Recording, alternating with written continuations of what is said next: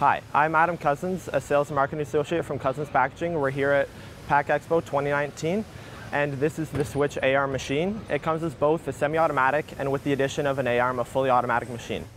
The A-arm itself is a patented technology that has allowed the machine to become the most cost-effective, practical, and reliable stretch wrapper, platform stretch wrapper on the market today. We're here at the show to introduce two technologies or two new features.